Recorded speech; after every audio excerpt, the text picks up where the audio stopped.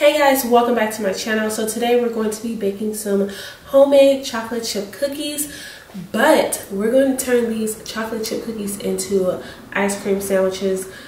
Never done this before. Actually made cookies once in my lifetime and they did not turn out right. I like to think of myself as a okay baker when it comes to like box stuff i can follow directions perfectly but when it comes to a recipe sometimes some things don't go right but our last video did pretty good and i really had fun doing it so i want to continue our baking theme. So let's go ahead and get started making these homemade chocolate chip cookies and let's see how they turn out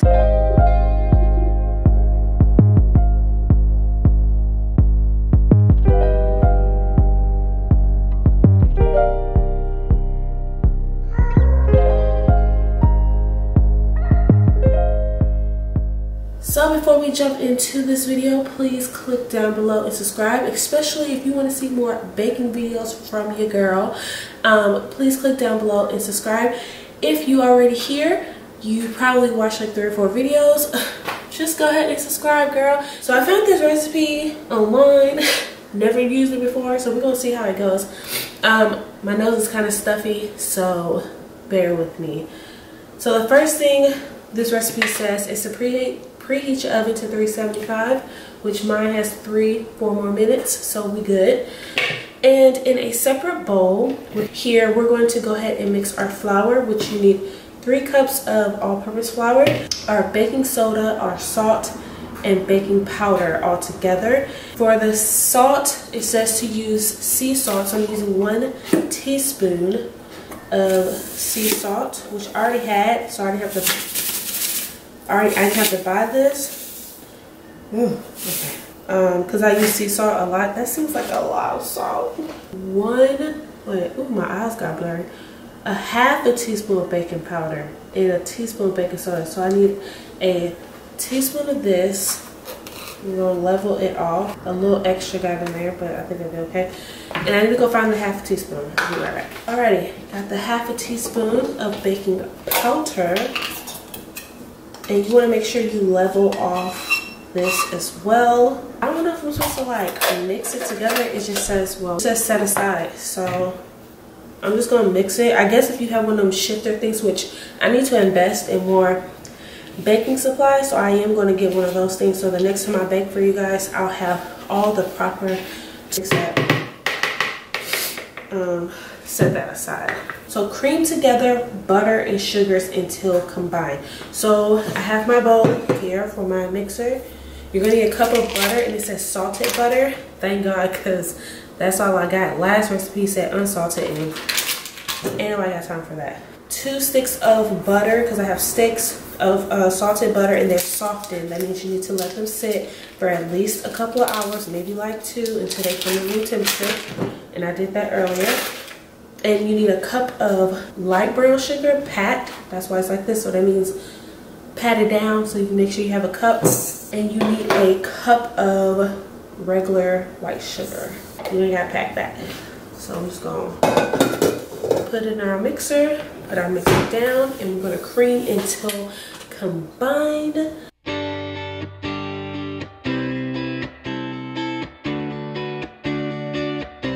Okay, so I think it's creamed together. I'm actually to show you guys what it looks like. I'm not super fancy and technical yet. I am going to eventually use my other camera to put on this table um, once I can get my new small tripod, which hopefully is to be the next week or so. But I just have to pick it up and show you guys what it looks like.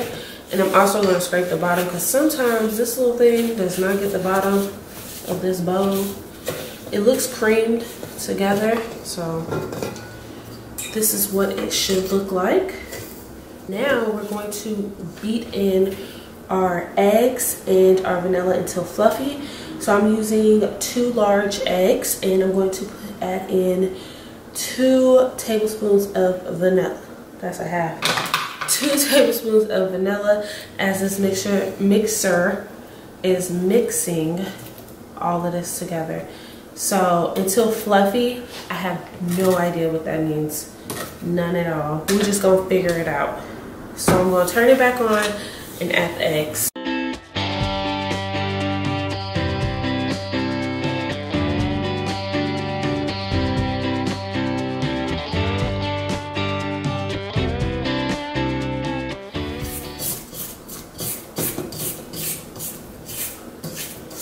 Each time I'm going to stop and go ahead and scrape the sides of the bowl down.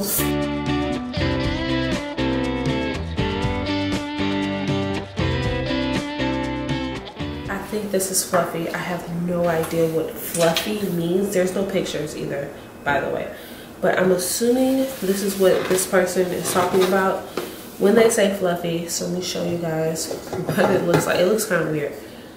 I'm assuming that's what they mean. Now I'm going to add in like half of my dry ingredients and then um, beat it and then add in the other half. So.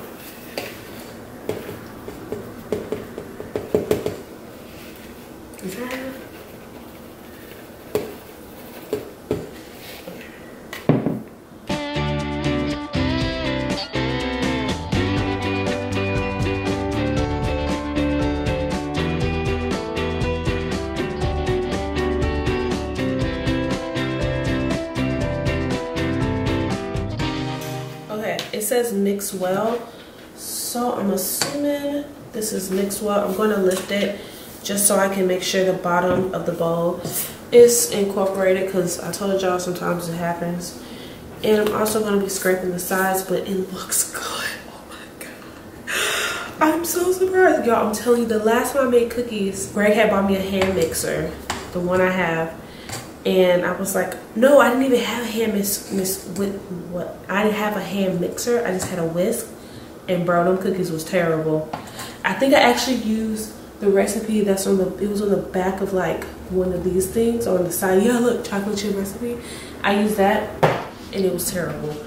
I'm just gonna mix it one more time and then we're gonna add the chocolate chips. Well, I'm gonna mix it and then I'm gonna start adding the chocolate chips. You need about two cups, so that's like a 12 ounce bag of chocolate chips.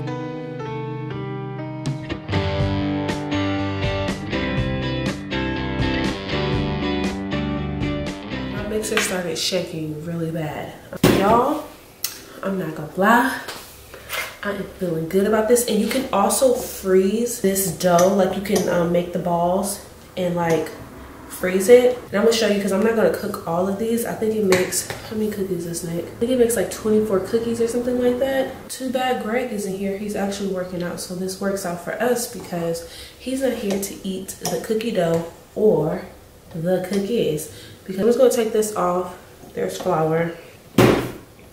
These things are not easy. On Food Network, they make it look so easy to remove this. So I don't have a cookie scooper thing because like I said, I need to invest. But I do have an ice cream scoop, which I got from Dollar Tree. So I'm gonna have to still touch it. And I got a cooking, a cooking sheet. I don't have no parchment paper either. but I got some Pam. So we're just gonna lightly spray this. And last time I got it all over the floor. And I just got it on the floor again. So we're gonna sit and slide. All right, spray the Pam. My mama name is Pam. So I'm just gonna take like that much and just plop it on there. And we're gonna see what happens. I don't care if they're perfect or not, so I'm not like a stickler for that. I just want some cookies. I'm gonna try to put four on each row.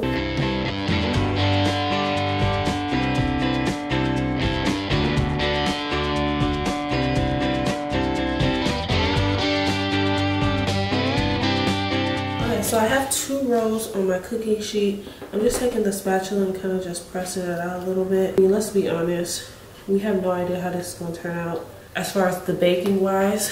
So this is how they look. I'm going to go ahead and put in the oven for 8 to 10 minutes or until they barely turn brown. Just wiping off the excess Pam. And I'm going to come back and show you what the cookies look like and then we're going to form the whole ice cream sandwich situation. Okay, so while our cookies are cooking in the oven, so far they look pretty decent. I'm really excited. I have a ton of, oh my God. I have a ton of dough left. So what I'm going to do is show you guys how I'm going to freeze it and let's take the scooper out. To freeze the cookie dough, all you're gonna need is an ice cream tray and your scooper. And if you have more than one ice cream ice cube tray, that would be perfect. But I threw the other ones away. Just gonna scoop the cookie dough into the tray here. And once you get all the dough into the tray, you're just gonna freeze it, pop them out, stick them in a Ziploc bag, and they're good to go. So to cook these bad boys, all you need to do is preheat your oven to 375 again. As your oven is preheating, you can go ahead and pop the cookies in there because they'll be defrosting while it's preheating. And then leave it in there for the same amount of time, which is the nine minutes, and they'll be done. Okay guys, so our cookies are done cooling. I might say these are some good looking cookies. What y'all think? They're not store-bought, I promise you. I took them off the pan. These are my cookies. These are cookies I made. They look really good. They look like store-bought cookies. Oh my God. Okay, so I have my cutting board, a knife, and I have two different things of ice cream. I have a Millennium Crunch, which is one of my favorites, and vanilla, which is Greg favorite. Um, Zoe loves chocolate, so I don't really like chocolate and I wasn't about to buy extra ice cream, but she likes Millennium Crunch. So I got some plastic wrap, so I'm gonna tear some pieces off because we're gonna need them for our individual sandwiches. So I'm already ready. I seen this on it on Facebook. I'm praying it's gonna work. So you're supposed to like cut the ice cream while it's in the actual container.